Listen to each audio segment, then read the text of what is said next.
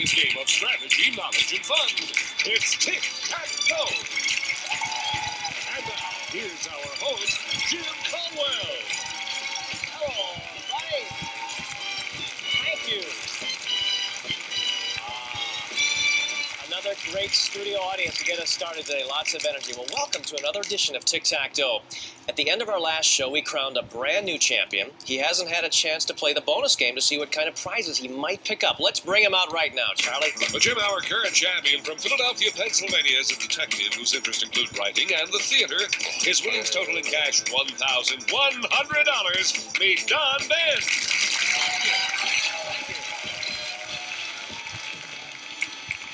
Don, there you are with a nice looking pink and matching tie and kerchief. I like that. Thank you. Looking very smart. Tell us about your interest in theater.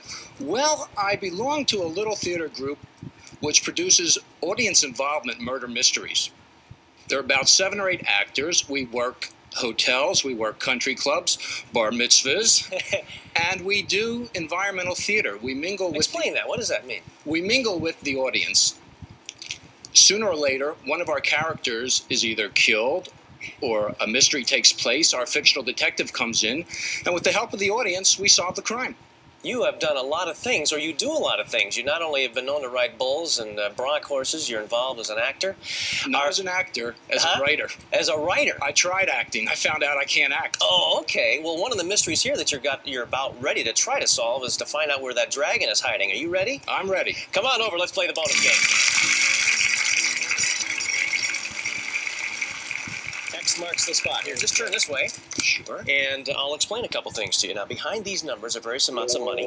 There's a tick, there's a tack, and the good old dragon. Mm-hmm. You want to get a tick in the tack or reach a thousand dollars or more, Don. And here's what you'll win. Charlie, tell him. Well, Don, we have a trio of gifts for your kitchen made of three different metals. First, Don, you'll display with pride a gleaming set of copper cookware. Selected with a $300 gift certificate from JT's General Store. Select from fashions, housewares, and much more in the JT's General Store in-home shopping catalog.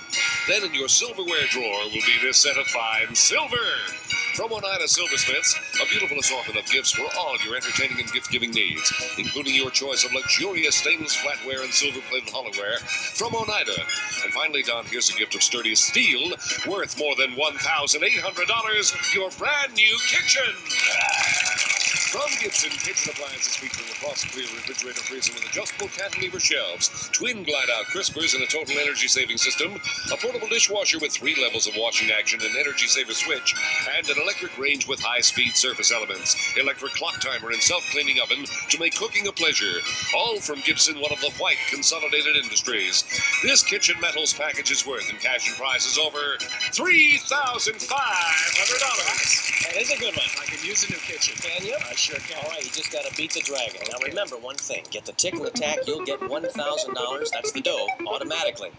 You ready? I'm ready. All right, he's found a place to hide. Uh, how about you need some help from the audience? I'd like some. Anybody on. from Philadelphia? All right. Okay. Where are you going to go first? All right. Lady says eight. I'm gonna go with eight. All right, number eight it is. Let's find out. Take a look. One fifty. All right. It's a start. That's a good start. That's right. What do you think now? All the way in the back, I see a two. All right, number two it is. Straight up to number two. Tick. All you need to tack or eight fifty. Just a tap. I see a one. I like one. He sees a one. Let's see what one does. He likes one. 100. One gets to 100. You're up to 250 now in cash. You need 750. If it's not five, you're in trouble. five. I'll try five. Number five, right to center, 250. Okay. All right, you need 500 more or. You can stop right now, by the way, and take the cash. I'm going to go on. All right, gonna keep going. Look at everybody. Everybody's Everybody. open. Seven? Okay, seven. All right, number seven. Bottom left, 400. Getting closer. Going to me. You're gonna win or lose on your next pick, so it's a critical moment. What do you think? Forget it. I'm going with three. I Uh, like he's three. going with number three. I like three. Take a look. Behind number three, you got it!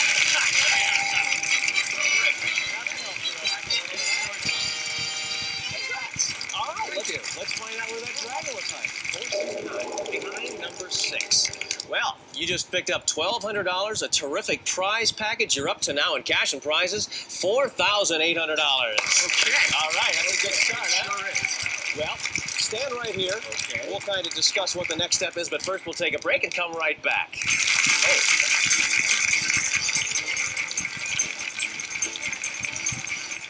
Oh, the wonderful weirdness comes to its dramatic conclusion as defeated the dragon. He just said to me off camera, he says, Well, let's see if I can do that four more times. Well, we'll see if you do, Don. It's time for you to meet your next challenger. Charlie, who is she, please? For Jim, she's a public relations consultant and former member of a traveling carnival. Meet Dorothy Reinhardt. Hello, Dorothy a former member of a traveling carnival. Pray tell, how'd you get involved in a carnival? Oh, well, my folks were carnival people, and I just it just kind of came natural to me. I what just ki- Interesting. What kind of stuff did you do? Well, I started life as a headless woman, and uh, then I did the Elektra, the Electric Girl Stick. Then for a grand finale, I did well. I hate to say this, half man, half woman act. I wasn't half man, half woman, but I was involved with it. Well, I'm always curious. You know, you see these things from afar, and you wonder how how realistic or how they're done. Can you explain a couple of those tricks to us? Well, the, the headless woman is uh, done with mirrors, and the half uh, man, half woman is mostly cosmetics. And I'd just as soon not tell a secret of the electric girl. It's just make believe. The carnivals are just another way of bringing a little make believe into your life. Very interesting work, and it looks like you've had a good time. You have such a nice, bright smile. We have a very real game of tic tac toe we're about ready to get started with. Both of you, take a look at these nine categories for this game. Here they are Take a letter, opponent's choice, astronomy, games, Asia, top this, faces, three to win, and action films. Now, remember, those red boxes are special categories, and I'll describe them if they come up during the game. Now, Don, as our brand new champion, go ahead and start us off. I think I'll start with Asia uh, action films in the bottom corner. I'm sorry I have to. Uh, Asia was your first choice, Don. You're going to have to start there. That's okay. All right, two part question. You'll have some extra time. Now, many words related to Japanese customs have become familiar to us. I'll describe two Japanese words. You tell me what they are. Number one, these hostesses are trained from childhood in music, dancing, and the art of conversation. And two, many Japanese women wear traditional loose robes of cotton or silk tied with a sash called an obi. Here's your extra time to think those answers over, Don.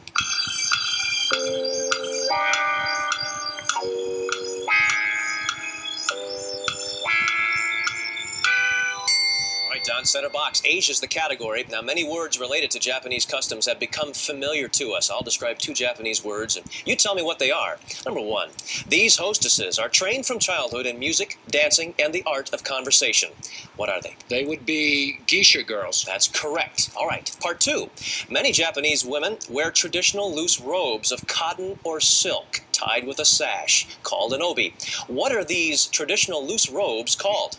Kimonos. You have the center box. All right. Put it next to the board. Center box. $300 pot. You weren't sure if you wanted to take Asia, but it worked out for you, Don. All right, let's go ahead and shuffle. Dorothy. Oh, okay. Let's try faces in the lower right. All right, Dorothy, take a look at this picture. Now, this humorist has written several best selling books, including The Grass is Always Greener Over the Septic Tank. Name her. Erma Bombeck. That's right.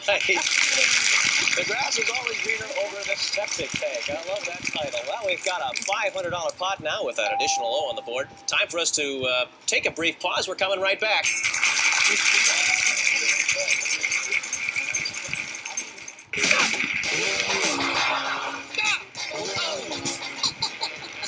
whatever you're eating on these diets, you know. Sign up for Noom and lose the weight for good.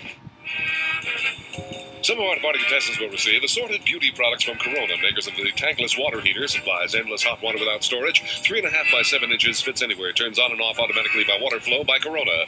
And Qvel, taken as directed, can help reduce the frequency and severity of night leg cramps. Qvel for leg ache relief and peaceful sleep. Plus, only Arid Solid has new aloe essence scent. Fights wetness, ordinary deodorant sticks can't. And mmm, a clean, fresh scent. New Arid Solid aloe essence scent. Once again, here's Jim. Thanks, Charlie. Well, we have 1X, 1 0 on the board. Don and Dorothy are just into a brand new game. Let's go ahead and shuffle. Don, your turn. I'll go with faces up top. All right, top right hand corner. Take a look at this picture, Don. Since 1970, this reverend has been a fixture on the Sunday morning religious program Hour of Power. Name him. Humbart? No. Robert Schuller. Hmm. Can't give you the box, Don. Let's go ahead and shuffle with 500 in the pot. Turn it over to you, Dorothy. Okay, how about uh, uh, three to win? Three to win. Middle right. Special category, Dorothy. You both will be playing on this one. Now, listen carefully. In fact, here's what I'm going to do. I'm going to read questions to both of you. If you think you know the answer, hit your buzzer. Whoever correctly answers three questions first will win the box. Now, the subject of this three to win category is state nicknames. Now, all I'm going to do is give you the nickname and you name the state. Now, put your hands on the buzzers, and here we go. The last frontier. Don? Nevada. No. Dorothy? Utah. Would you believe Alaska? okay, next one. The Sunshine State. Don? Florida. That's correct. You have one. The Sooner State. Dorothy? Oklahoma. That's right. Okay, it's one to one. Lone Star State. Don? Texas. That's correct. All right, it's two to one. Don, one more correct answer, you'll have the box. Land of Lincoln. Don for the box. Illinois. You have it. Okay. Interesting category. Way to go, Don. We'll put an X on the board now for $700 in the pot. Let's shuffle. All right, Don. I will again go with three to win. We just played it. Well, I did okay the last time. Now remember, you both will be playing. Now you're going for the game, Don. This would be your third game of tic tac toe. Dorothy, if you get this box, you'll have a successful block. Now remember, if you think you know the answer, hit your buzzers. And the first of you to get to three will have the box. The subject this time Star Wars. The Star Wars movies. I see that your hands are on the buzzers. Here we go. Name the man who created and directed Star Wars. Don? Steven Spielberg. Dorothy. That's not correct. Dorothy? Uh, I'm sorry, I don't remember. George Lucas. oh, All right, next question. Name one of the two robots who have co. Don? R2D2. That's right, Don. You have one. Next question. Name the British actor who portrayed the mysterious knight Obi Wan Kenobi. Dorothy? Alec Guinness. That's correct. All right, it's one to one in this three to win category. Name the mystical order of knights to which Obi. Don? The Jedi. That's correct. Obi Wan Kenobi belonged to the Order of Knights. All right. Next question. You have two, Don, by the way. One more correct answer, and you'll win the game. Name the black hooded and black. Don for the game. Darth Vader. You have the game!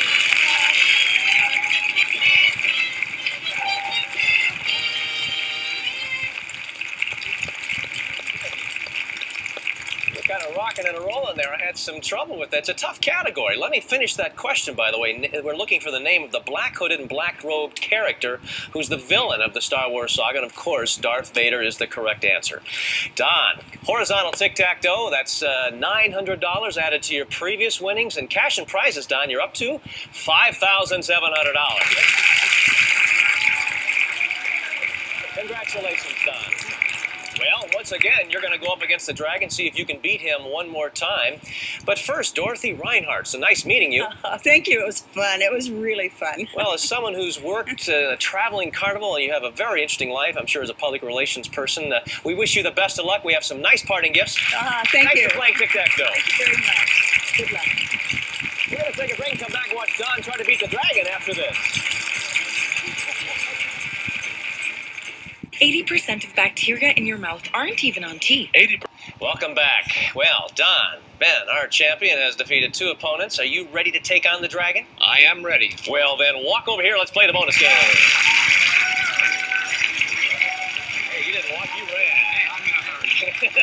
He's in a hurry. Well, so is the dragon. Look, you can just tell he's jumping around there. Take a look. He's trying to find a place to hide. But before he does that, we got to know what kind of prizes are at stake. Charlie, please inform the man.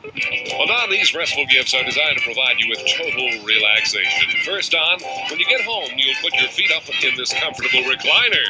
A recliner rocker chair from Lazy Boy Chair Company. Enjoy genuine La-Z-Boy quality and comfort as you rock or recline. Relax, it's from La-Z-Boy. Then, at night, you'll soon be fast asleep sleep thanks to this firm new mattress. Energize yourself on award-winning Medicoil by Therapedic, the mattress leaving the world with patented anti-sag support and non-rip handles too. And finally, Doc, to truly guarantee you a restful environment, we've arranged a little getaway for you to the secluded Caribbean Isle of Bonaire. Located just off Venezuela's Caribbean coast, perfect weather, clear waters, colorful flamingos, a perfect vacation.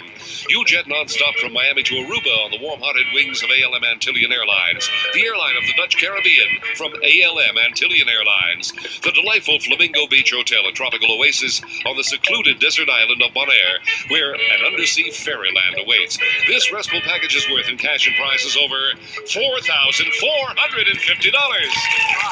You already want a trip Singapore, didn't you? No, that was the fella a couple days ago. Oh, no, I'm kidding. He asked if I could go with him, though. Oh, really? Well, just don't get the dragon. Then you got to beat the dragon, get the tick and the tack to get the dough automatically. Need some help from the audience? I'd like some. All right, he's found a place to hide. Come on. You're never alone here. I'm going to start with number one. All right, number one it is. Top left-hand corner. 250. Okay. Okay. Not bad. What's next? Number six. He yells Six. out number six. Let's find out what's there. 100. All right. 650 to go. All the way in the back, I see a lot of twos. I'll go with two. All right, number two it is. And 400. You're up to 750. All you need is 250. Let's go with number nine. All right, let's see if number nine gets you that trip to Bonaire. Let's see what's there. 300. You did it!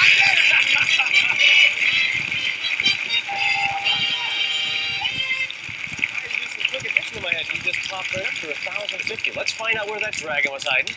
Take a look. There he was behind number three that time. Glad I didn't Hey, 1,050 added to that great prize package, including that trip to Bonaire. You're up to now, listen carefully, $10,200. You like the sound of that, huh? It sounds good. All right, it's time for you to meet your next opponent. Are you ready? I'm ready. All right, take the walk back. He's going to put himself together and pull it all together, and let's find out who his next challenger is. Charlie? Well, Jim, he's a film archivist whose interests include photography and running. the Ariel Nachman.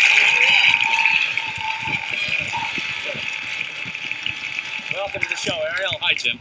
Yeah, tell us about being a film archivist. Well, I worked in a film library for the uh, old Los Angeles Olympic Committee, restoring thousands of millions of feet of old sports footage dating back to the early 1920s. There's got to be some terrific footage in there, huh? Oh, it's really incredible. We, What specifically were your duties, Ariel? Well, we cleaned and restored film, um, cataloged it, but mostly cleaning and restoration.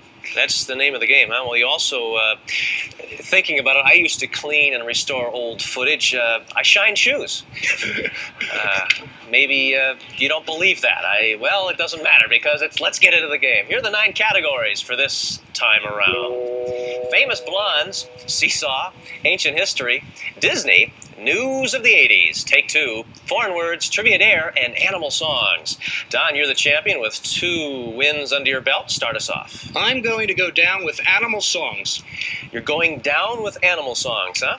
All right, here's the question. One of the biggest hit songs of the Depression was the tune Who's Afraid of the Big Bad Wolf, which came from a Disney cartoon. Now, in the cartoon, the song was sung by these foolish animals. What type of animals? They were pigs. You are right. All right, animal song. Get to that. Let's shuffle with 200 in the pot. Over to you, Ariel. I'll have to take foreign words in the middle. Well, you don't have to, but you can, Ariel. Here's the question. You'll have some extra time for this one. Take a look at this picture. Now, here are two colorful Spanish words. What do they mean in English? Here's your extra time to think it over.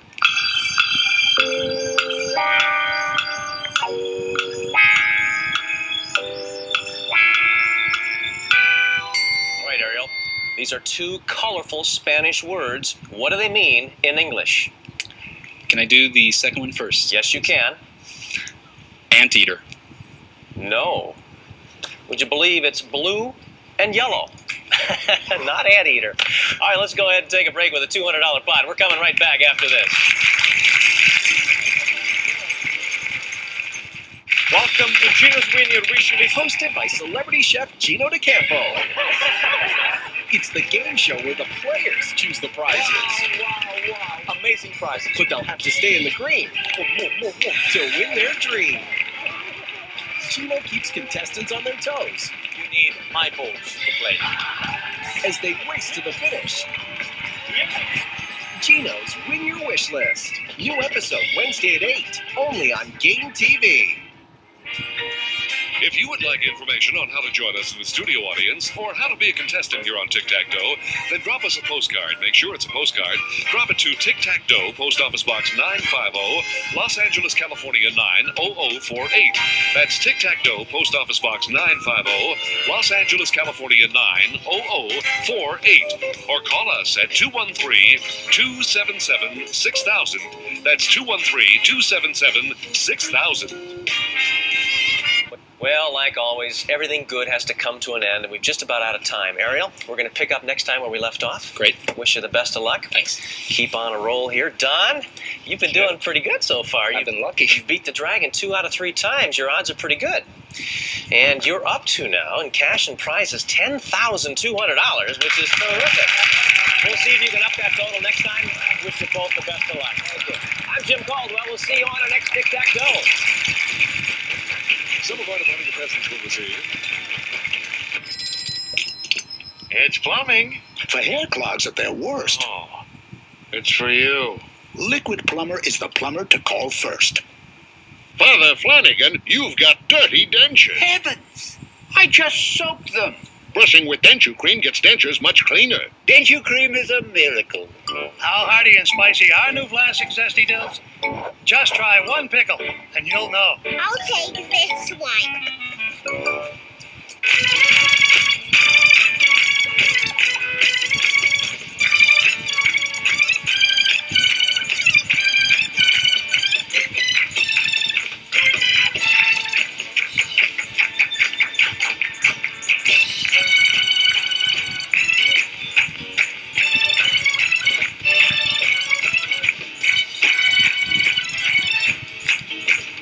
Is a Jack Barry and Dan Enright production.